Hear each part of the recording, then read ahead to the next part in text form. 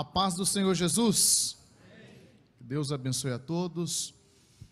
Por favor, abra a sua Bíblia no livro do profeta Isaías, capítulo 6. Vamos ler alguns versículos. No ano em que morreu o rei Uzias, eu vi ao Senhor assentado sobre um alto e sublime trono e o seu séquito enchia o templo. Os serafins estavam acima dele, cada um tinha seis asas, com duas cobriam o rosto, e com duas cobriam os pés, e com duas voavam. E clamavam uns para os outros, dizendo: Santo, Santo, Santo é o Senhor dos exércitos, toda a terra está cheia da sua glória. E os umbrais das portas se moveram com a voz do que clamava, e a casa se encheu de fumaça. Então disse eu: Ai de mim, que vou perecendo, porque eu sou um homem de lábios impuros, e habito no meio de um povo de impuros lábios, e os meus olhos viram o Rei, o Senhor dos exércitos. Mas um dos serafins voou para mim mesmo, trazendo na mão a brasa viva, que tirara do altar com uma tenaz.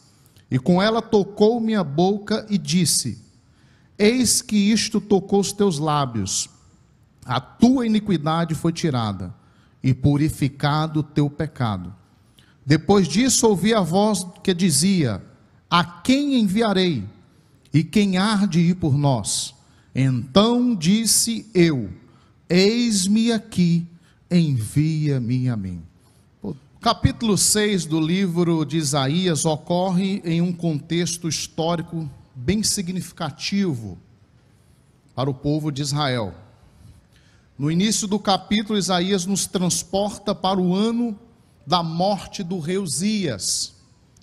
Uzias foi um dos reis mais prósperos de Judá que reinou por cerca de 52 anos. Então, durante o seu reinado, o reino de Judá experimentou um período de estabilidade e expansão territorial. No entanto, Uzias acabou se corrompendo com seu orgulho, desobedeceu a Deus, entrando no templo para oferecer incenso, uma função sacerdotal, que era restrita aos levitas. Como consequência de sua desobediência, Uzias foi atingido por uma lepra. Então, a morte de Uzias representou uma grande mudança para o povo de Judá. O país se encontrava em uma transição de um rei próspero para um período de incerteza e instabilidade política. Quando fala de estabilidade política, nós estamos falando de um reinado próspero, aonde a economia ia bem naquele período, a segurança, a educação. Então, ele foi um privilegiado, teve a bênção de Deus enquanto ele estava dentro da obediência e o reinado foi abençoado e próspero. Mas o rei deixou o seu trono, ele morreu, o trono ficou vazio. Foi um momento de instabilidade, um momento de incerteza para Isaías e para toda aquela nação.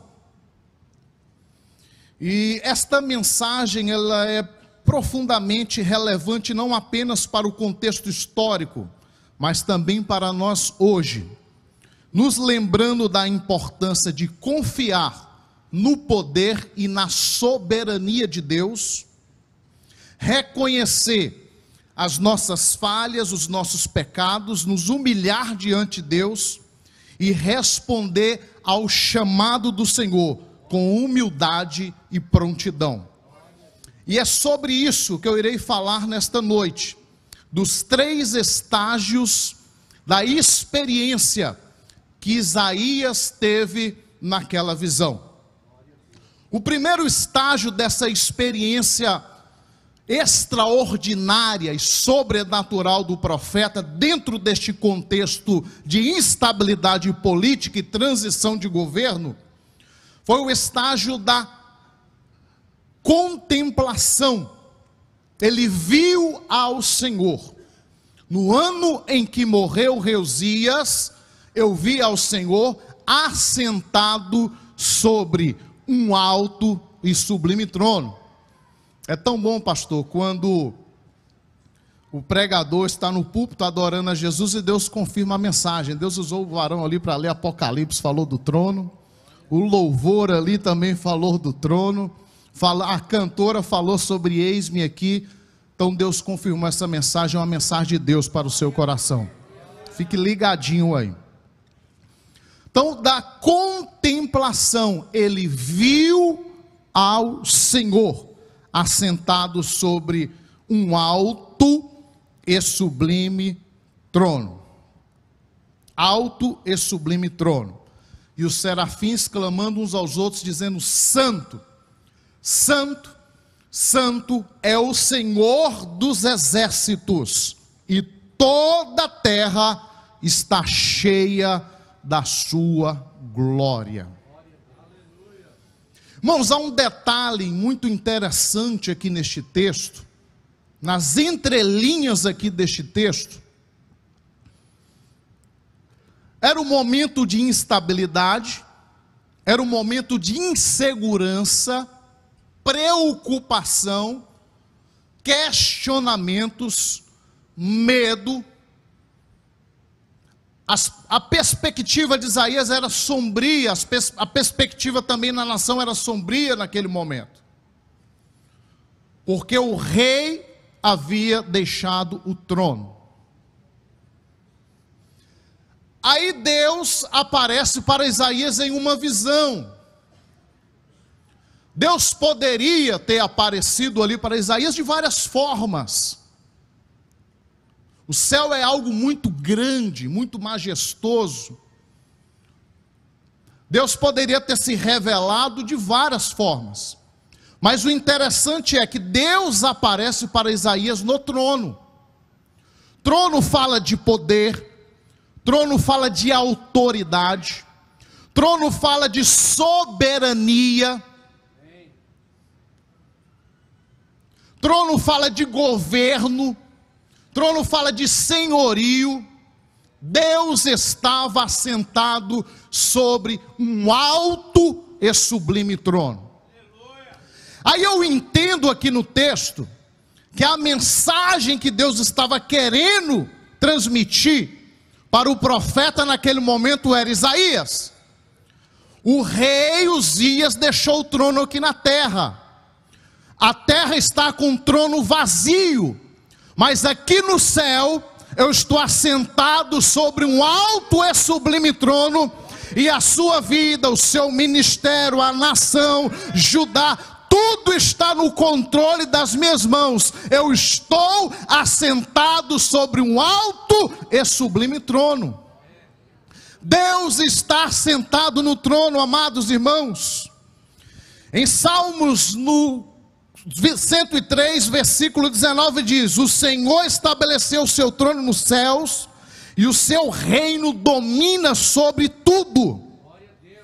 Isaías 66, 1: Assim diz o Senhor: O céu é o meu trono, e a terra descanso para os meus pés. Hebreus 4,16: Cheguemos-nos, portanto, confi confiante junto ao trono da graça, a fim de recebermos misericórdia e encontrarmos graça que nos ajuda no momento de necessidade. Quem sabe você entrou aqui, dentro deste templo, está passando por algum momento de instabilidade na sua vida, porque tem algumas adversidades, ou a maioria, que elas chegam de maneira inesperada. É um diagnóstico médico, é um filho que saiu da igreja, é uma porta que se fechou, é as dívidas que estão mais altas do que o orçamento. Então nós nos deparamos com alguma dificuldade. É uma perseguição no trabalho, é uma perseguição de um chefe, é uma perseguição lá na vizinhança, é um problema conjugal. Ataques diabólicos malignos, é um problema de ordem emocional, mental, é uma crise de ansiedade. Então, tem situações que, tem ventos que sopram, que balança realmente o barco. Você olha para um lado, não vê saída, não vê solução, não vê uma luz no fundo do túnel. Aí você começa a questionar: e agora? Como vai ser? Como será? Mas, amados e queridos irmãos, quem sabe você está enfrentando algum vento, olha para um lado, para o outro e não vê saída, não vê uma solução. Eu quero te convidar nesta noite a olhar para o alto, a olhar para o Rei dos Reis, a olhar para o Senhor dos Senhores com fé, com confiança e clamar por socorro, porque o teu Deus, Ele está sentado sobre um alto e sublime trono, a mão dele vai aonde a sua mão não pode ir, Ele faz aquilo que você não pode fazer, Ele é um Deus de milagre, é um Deus da providência, é o mesmo ontem, hoje e será eternamente. Deus está sentado sobre um alto e sublime trono. É porque às vezes, irmão, nós olhamos muito para a terra. Nós olhamos muito para a terra. Nós confiamos muito nas pessoas. E às vezes as pessoas nos decepcionam.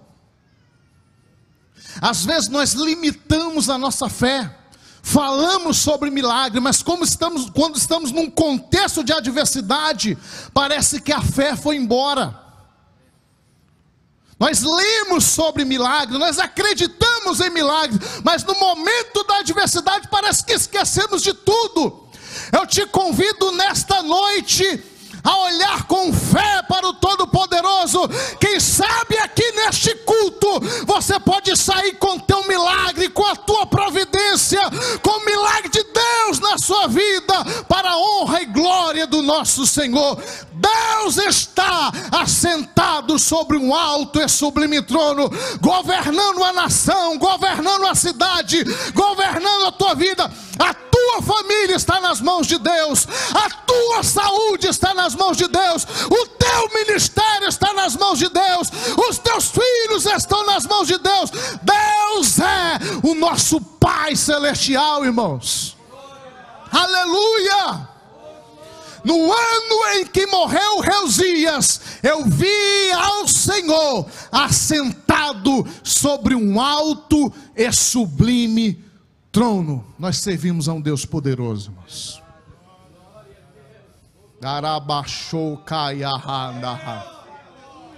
Nós servimos a um Deus grande, irmãos. Grande e acessível. Grande e acessível você pode dobrar os seus joelhos em qualquer lugar com fé e confiança que o seu Pai celestial, o soberano do universo, ele está pronto para te ouvir, te abraçar, te ajudar. Ele é o teu refúgio e fortaleza, socorro bem presente na hora da angústia. O homem pode ser até um instrumento, mas quem te ajuda é Deus. Quem te ajuda é Deus. O teu socorro vem de Deus.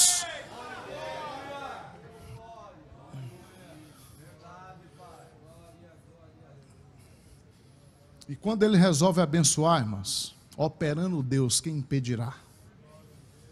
Aleluia, nada de medo, de desespero. Nada, nada disso. Lance hoje todas as suas ansiedades nos pés do Senhor. Deus está aqui neste lugar, irmãos. O Espírito Santo está aqui neste lugar. Aleluia. Glória a Deus.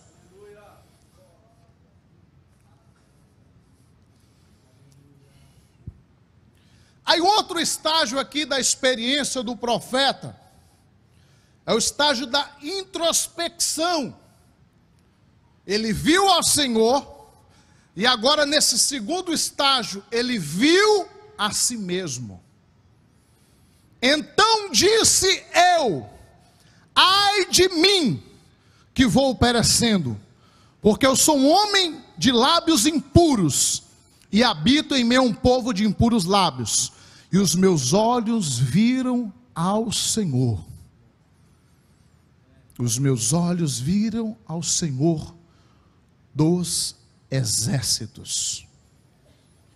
Essa visão revela a majestade de Deus, a santidade de Deus, e coloca em perspectiva a pequenez e a pecaminosidade do próprio Isaías, do povo de Israel, em reconhecer as suas falhas, reconhecer os seus erros, a sua condição de pó, de cinza, de pecador, diante da majestade santa do Deus Todo-Poderoso. E assim como Isaías, também somos chamados a buscar o perdão e o arrependimento em nossas vidas. A brasa viva do perdão divino está disponível para purificar. O sangue de Jesus nos purificar de todos os pecados. Quando nós nos reconhece, reconhecemos os erros, as nossas falhas, nos arrependemos de forma sincera, nos entregamos a Ele, nós experimentamos uma transformação, uma libertação e o perdão dos pecados. Nós somos falhos, irmãos. Nós erramos nós falhamos. É porque às vezes é, tem muitas pessoas que têm uma ideia de pecado e restringe isso só ao adultério, ao pecado sexual. Mas tem alguns pecados, tem até um livro, Pecados Intocáveis. Nós erramos, irmãos. Nós erramos. Por exemplo, ao colocar coisas no lugar de Deus, valorizar mais as coisas, mais o material. E Deus em segundo plano, é um pecado de idolatria. A idolatria ela não se restringe só a se prostrar diante de uma imagem a partir do momento que eu coloco qualquer coisa no lugar de Deus, que eu valorizo mais do que Deus. Tem pessoas que idolatram o carro, tem pessoas que idolatram a conta bancária, tem pessoas que idolatram o namorado, a namorada. Então há vários tipos de idolatria. Às vezes nós erramos no tempo para Deus. Não, quando der aquela sobra, lá no final, deixa eu ocupar tudo aqui, ocupar meu tempo, as 24 horas. Se sobrar um tempinho, eu dobro os meus joelhos para falar com Deus. Se sobrar um tempinho, eu vou na igreja. Se sobrar um tempinho, eu vou no ensaio. E assim é, a gente às vezes nós erramos em odiar outras pessoas, em não cumprir com as nossas responsabilidades, com o nosso chamado. Então há várias formas, né? semear contenda entre algumas pessoas. Então tem alguns pecados que são intocáveis, né? E nós precisamos constantemente falar como o salmista Davi: sonda-me, ó Deus, conhece-me, vai lá dentro, dá uma vasculhada, Espírito Santo. Aleluia, aleluia. Vai entrando nos corredores obscuros da minha alma vê se há em mim algum caminho mal. Irmãos, nós temos que se prostrar diante de Deus. Tem pessoas orgulhosas, né?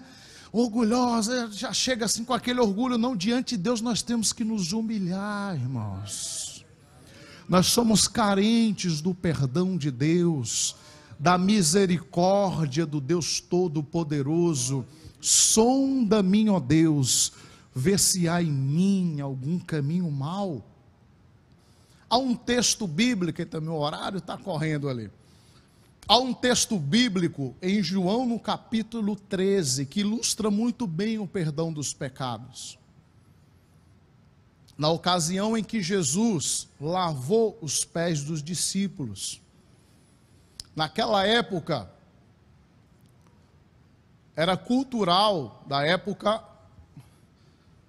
você ser convidado para um jantar. Naquela ocasião aconteceu a ceia. E o convidado tomava um banho, né? igual eu tomei hoje aqui, coloquei um terno, gravata, vim bonito, coloquei um perfume ali no hotel para vir para a igreja. Então o convidado ele se preparava, tomava o banho completo. A melhor roupa, o melhor perfume. Mas o pessoal andava muito a pé, não tinha carro. Não tinha carros, né? Quem tinha carros na época era cavalo, era um jumento, mas as pessoas andavam muito a pé. Tomava o banho completo, ia caminhando a pé até chegar ao local do evento, ao jantar. E nessa trajetória sujava os pés. Aí ao chegar no local tinha um servo lá com uma bacia, com a toalha e lavava os pés por convidado entrar e participar do banquete. Então Jesus lavou os pés dos discípulos, na condição ali de servo. Aquela situação que Pedro, não, meu pé não, Jesus, não lava não. Não, se você não lavar, você não tem parte. Então me dá o banho completo. Quando nós entregamos a vida para Cristo, tomamos essa melhor e maior decisão que um ser humano pode tomar, que é entregar a vida para Jesus é reconhecer Jesus como único, exclusivo e suficiente Salvador. Então, nesta ocasião, acontece um, algo sobrenatural. Você de ímpio passa a ser justo, você é justificado mediante o sangue de Cristo que foi vertido na cruz do Calvário, e passa a ser templo e morada do Espírito Santo. O seu nome é registrado lá no céu. Você passa a ser um servo de Deus. Que privilégio, que privilégio. Mas é o banho completo, a decisão, o arrependimento. Tem um processo né, de santificação, regeneração, mas o banho completo acontece na justificação. Deus vai trabalhando. Banho completo. Mas até chegar a Canaã celestial, que é o banquete maior, que é o nosso objetivo, marchar caminhar até chegar lá no céu, nas mansões celestiais, a encontrar com Jesus nos ares, que foi falado aqui nesta noite, há uma sujeirinha nos pés, há um pecado. Às vezes a pessoa erra, vacila ali, vacila aqui.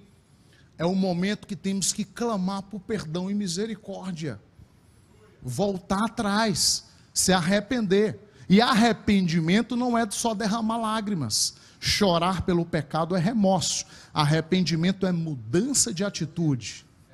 É mudança de atitude, é de, decidir mudar. É decidir mudar. Mudança de atitude. Então, é o lavar dos pés. Tem várias referências bíblicas. Davi, grande rei de Israel, pecou, errou, quando o seu pecado foi denunciado pelo profeta Natã, Davi se arrepende, ele clama, ele suplica ao Senhor: Senhor, não retire de mim o teu espírito, não me lances fora da tua presença. Olha a preocupação do rei. Naquele momento ele não queria saber de coroa, de trono, de exército, nada disso. Para ele isso não importava mais. Ele não queria saber de conta bancária, dos carros, dos cavalos, do prestígio, do poder que ele tinha, não. Ele entrou em desespero e a oração dele era: Senhor, eu não quero sair da tua presença. Eu não quero perder o teu Espírito Santo. Irmãos, perca tudo nessa vida, mas não perca a chama do Espírito Santo em teu coração. Perca tudo nessa vida, mas não perca o teu nome escrito lá no céu. A comunhão com teu Pai celestial. Que coisa linda, irmãos. Comunhão com Deus Todo-Poderoso, um relacionamento com Jesus. Isso é muito forte. Eu não estou falando de religiosidade. Tem pessoas que são religiosas, só cumpre um compromisso, não estou falando de relacionamento, ser templo e morada do Espírito Santo. E você tem essa oportunidade aqui nesta noite, Senhor, habita no meu coração, perdoa os meus pecados, eu me humilho diante de ti, faz morada em mim, Espírito Espírito Santo. Há vários textos bíblicos sobre perdão, sobre arrependimento. Davi clama também, clama, cria em mim, ó Deus, um coração puro, renova dentro de mim um espírito inabalável. 1 João 1,9: Se confessarmos os nossos pecados, Ele é fiel e justo para perdoar os nossos pecados e nos purificar de toda injustiça. O sangue de Jesus nos purifica de todo pecado. Quem sabe você entrou aqui porque o diabo é assim, ele prepara um laço, ele é enganador, é sujo, irmãos. Ele é sujo, ele é enganador, ele prepara todo um ambiente, arma tudo, monta um cenário para a pessoa cair. O alvo dele é você que é crente. É você que serve a Jesus. Você incomoda as trevas. Então ele prepara tudo, às vezes a pessoa não está conectada ali, ligada e cai. Aí quando cai, ele começa a acusar. Acusa, acusa, acusa. Uma certa feita, Martinho Lutero estava orando, clamando, o diabo apareceu para ele. E começou a enumerar os pecados. Martinho Lutero, você fez isso, você fez aquilo, foi numerando, numerando. Aí terminou naquela visão ali, naquela aquela visão que ele teve naquele momento, ele falou: escreve aí também embaixo: o sangue de Jesus me purifica de todo o pecado. O sangue de Jesus, irmãos, nos purifica de todo pecado. Quem sabe você está aqui sendo acusado, uma confusão, conflito aí na sua mente, em cima do muro, não sabe se vai, se fica, se serve a Deus com intensidade ou se não serve. Eu te convido nesta noite a descer do muro, a se apegar com Jesus, a lançar tudo nos pés de Jesus e ter um relacionamento com Ele relacionamento autêntico, verdadeiro com teu Pai celestial. Para finalizar, irmãos. Terceiro estágio, agora é da visão. Ele viu a necessidade. Antes de ministrar para a nação, Isaías foi ministrado por Deus. Antes dele falar ai para a nação de Israel, ele falou ai de mim que vou perecendo. Então ele foi ministrado por Deus, perdoado por Deus. Aí agora ele atende, ele vê a necessidade. Ouvi a voz que dizia: A quem enviarei? Quem há de por nós?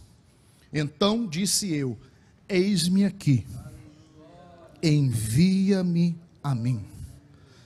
Essa resposta de Isaías marca o seu chamado como profeta, o seu compromisso em ser um mensageiro de Deus para o povo de Israel. Assim como Isaías, irmãos, somos também desafiados a olhar para as necessidades à nossa volta e responder ao chamado de Deus. Não podemos ficar indiferentes ou negligentes diante das dificuldades dos sofrimentos presentes no mundo, Deus nos chama para sermos agentes de mudança e de transformação. Deus te deu autoridade para isso autoridade do poder do Espírito Santo. Concluo a mensagem, irmãos. Ao contemplarmos o trono celestial, somos lembrados da grandeza e da soberania de Deus. Ele reina sobre tudo e sobre todos, e tudo está no controle das suas mãos.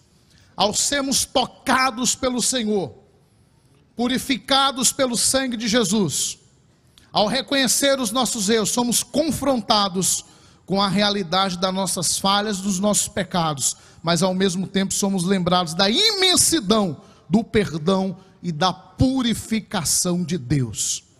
Ao atender o chamado de Deus, seguimos o exemplo de Isaías. Prontamente ele se colocou à disposição para ser usado por Deus. Então, em nossas vidas diárias, somos desafiados a abençoar outras pessoas, em nome de Jesus. Que possamos ser um povo que olha para o alto, se arrepende sinceramente diante de Deus e nos colocando à disposição para ser usados pelo Senhor nesta última hora. Feche seus olhos.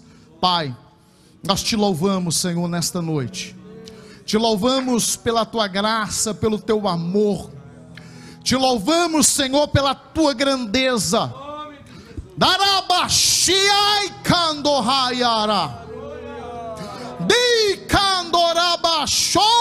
yakandoyakandaha. Pai, nós estamos diante de Ti, meu Pai, do Deus grande, do Deus Todo-Poderoso. O nosso socorro vem do alto, Senhor. Tu és o nosso refúgio, nossa fortaleza. Tu és o guarda de Israel que não dorme. Pai, abençoa teu povo, abençoa a tua igreja. Pai, abençoa, cura os enfermos, renova, restaura. Senhor, visita os lares. Pai, abençoa cada um de uma forma especial. Assim como Isaías, nós olhamos para o alto e clamamos por socorro e por milagres, Senhor. Pai, nos abençoa, purifica, Senhor, os nossos pecados. Pai, nós somos falhos diante de Ti, mas o Teu sangue nos purifica, nos limpa, nos renova. Venha sobre nós, Espírito Santo.